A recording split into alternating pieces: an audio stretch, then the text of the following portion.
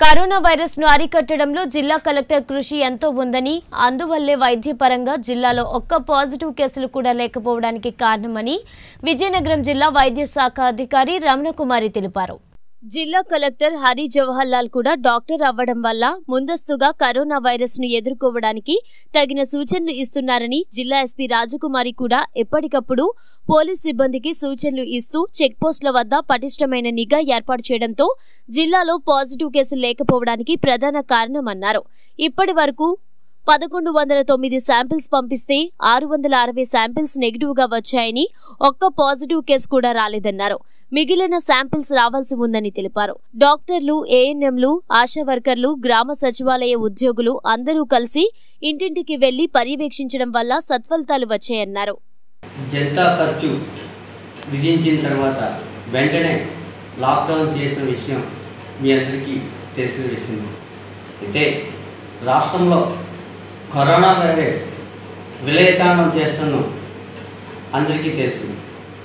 భగవంతుడి దయ వల్ల విజయనగరం శ్రీకాకుళం జిల్లాలో మాత్రం ఒక్క పాజిటివ్ కేసు కూడా లేకపోవడానికి కారణం ఇక్కడ ఉన్న వైద్య శాఖ అధికారులు ఎంతో కృషితో ప్రతి ఇంటిని జల్లెడి పడుతూ ఎవరైతే జలుబు దగ్గు జ్వరంతో బాధపడుతున్నారో వారందరినీ ఇంటింటికి వెళ్ళి ఐడెంటిఫై చేసి ప్రతి ఒక్కరిని కూడా హాస్పిటల్ తనిఖీ నిమిత్తం తీసుకువచ్చారు అందువల్ల ఈ జిల్లాలో కరోనా వైరస్ అంది ఇప్పటికీ రాకపోవడానికి ప్రధాన కారణం.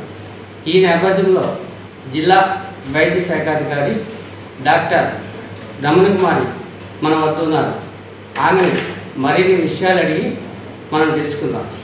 మేడం ఈ జిల్లాలో కరోనా వైరస్ కేసులు రాకపోవడానికి ప్రధానంగా మీరు తీసుకున్న జాగ్రత్తలు ఏంటి? మీ సిబ్బందికి ఎటువంటి సూచనలు ఇచ్చారు? అలాగే మీ పై అధికారులు మీకు ఏ విధంగా సహకరించారు? నమస్తే అండి. మా సిబ్బంది అందరూ కూడా డే వన్ నుంచి కూడాను బాధ్యతగా మెలిగారండి. ముఖ్యంగా ఒక జబ్బు వచ్చినాక ట్రీట్ చేసే కన్నా రాకుండా ముందు జాగ్రత్తగా prevention prevention is better than cure అంటారండి.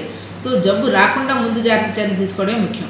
ప్రజల్లో అవగాహన కల్పించాము. ప్రజల్లో కరోనా అంటే ఏంటి? ఎలా వస్తుంది? రాకుండా ఏం చర్యలు తీసుకోవాలన్నది మేము పోస్టర్స్ ద్వారా హోర్డింగ్స్ ద్వారా ద్వారా ఫ్లెక్సీల ద్వారా మేము అవగాహన కల్పించామండి.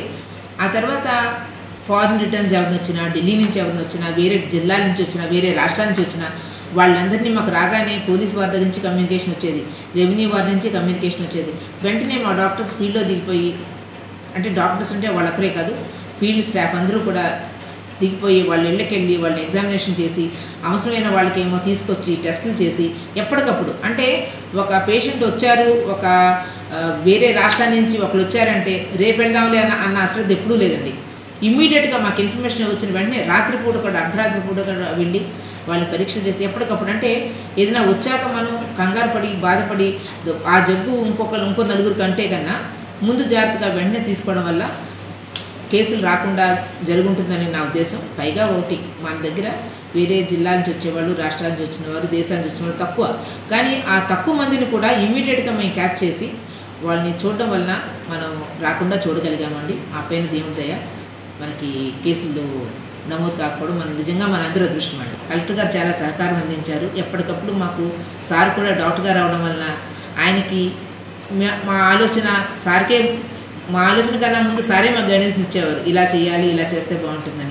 సో సార్ సహకారం గైడ్లైన్స్ ఎస్పీ మేడం చాలా సహకరించారు. ఈ అంటే ఎవరైనా వచ్చి రాబోతున్నారని ముందు వార్త ముందే వచ్చేది మాకు. వాళ్ళు ఎక్కడో తునిలోనో అనవరంలో ఉంటే మాకు ముందే వార్త వచ్చేది వాళ్ళు వస్తున్నారని చెప్పి మేము రెడీగా ఉండేవాళ్ళం. టెస్టులు చేసి మహారాజా హాస్పిటల్లో డిసిహెచ్ఎస్ గారు కానీ మెడికల్ సూపరింటెండెంట్ కానీ మా హెల్త్ టీమ్స్ కానీ రాత్రింబావులు చాలా కష్టపడి అంటే ఒక బాధ్యతగా ప్రవర్తించడం వల్ల ఈ రోజున జిల్లా పరిస్థితి బాగుందండి మనం గ్రీన్ జోన్లో ఉండగలిగాం. ఇప్పుడు ప్రధానంగా గిరిజన ప్రాంతాల్లో ఏ విధంగా సిబ్బంది ఆహారం కల్పించారు అలాగే మనకి తగిన మాస్కులు తర్వాత శానిటైజర్లు గ్లౌస్లు మీరందరికీ కల్పించారా? అంటే మీ తాలూకా సిబ్బందికి. స- సరైన ప్రశ్న అండి. ఈ కరోనా వ్యాప్తి చెందుతున్న కొత్తల్లో మాకు సరి తగినన్ని మాస్కులు కానీ గ్లౌస్ కానీ శానిటైజర్ కానీ రాలేదండి.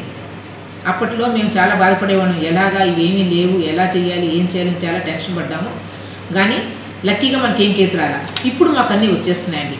శానిటైజర్స్ గ్లౌస్ ఎన్ఎన్ఫై నైంటీ మాస్కులు పీపీ కిట్స్ అన్నీ వస్తున్నాయండి. ఇప్పుడు మాకు ఏ రకమైన భయం లేదండి. మనం పిహెచ్సి స్టాఫ్కి సిహెచ్సి డాక్టర్స్కి ల్యాబ్స్కి కోవిడ్ హాస్పిటల్గా డెసిగ్నేట్ చేసిన వాటికి అన్నిటికీ కూడాను మేము అన్నీ సరఫరా చేశామండి. పిహెచ్సిలో ప్రతి ఒక్క ఎంప్లాయీకి కూడా మేము ఒక శానిటైజర్ బాటిల్ ఇచ్చాం. వన్ ఎయిటీ ఎంఎల్ బాటిల్ ఒక్కొక్కరికి అంటే వారానికి ఒక వన్ ఎయిటీ ఎంఎల్ బాటిల్ చెప్పిన ఇచ్చాము. ఇంకా ఏదైనా కావాలంటే కూడా ఇవ్వడానికి ఇచ్చాము. ప్లస్ మెడికల్ ఆఫీసర్స్ అందరికీ కూడాను మేము ట్రావెల్ అలవెన్స్ కోసమని మేము as per the instructions of the government మేము మనీ డిపాజిట్ చేశామండి. సో మా డాక్టర్స్ కానీ ఫీల్డ్ స్టాఫ్ కానీ ఏ రకమైన ఇబ్బందులు పడుకోకుండా ముఖ్యంగా వాళ్ళు బాగుంటాయి ముఖ్యంగా మేము బాగుంటాయి మెడికల్ అండ్ హెల్త్ వాళ్ళు మేము బాగుంటేనే సమాజాన్ని మేము బాగు చేయగలం. మేమే జబ్బు పడ్డాం అనుకోండి మా వల్ల ఇంకో పది మంది జబ్బు అంటుకుంటుంది. కాబట్టి అలాంటి ప్రమాదం లేకోకుండా మా స్టాఫ్కి అందరికీ మాస్కులు శానిటైజర్స్ అవన్నీ అంది- అందించే ఏర్పడతాం ఒక్క సిక్స్ వాళ్ళు కూడా వాళ్ళు పంపిస్తున్నారు. జిల్లాలో ఇప్పటి వరకు ఒక పాజిటివ్ కేసు కూడా రాకపోవడానికి కారణం దిగువ స్థాయి సిబ్బంది ఇంటింటికి వెళ్ళి పర్యవేక్షించడం వల్ల పాజిటివ్ కేసులు రాలేదని చెప్పేసి అంటున్నారు. అయితే బయట జిల్లాల నుండి కానీ అనుమానం ఉన్న వారిని కానీ తీసుకువచ్చి క్వారంటైన్ సెంటర్కి పంపించి వాళ్ళకి పద్నాలుగు రోజులు అక్కడే ఉంచి తగిన జాగ్రత్తలు ఇస్తూ అప్పుడు వీళ్ళకి పంపించడం అవుతుందని చెప్పి జిల్లా వైద్య శాఖాధికారి రమణ కుమారి తెలిపారు. Nineteen years Ravi Vizianagaram.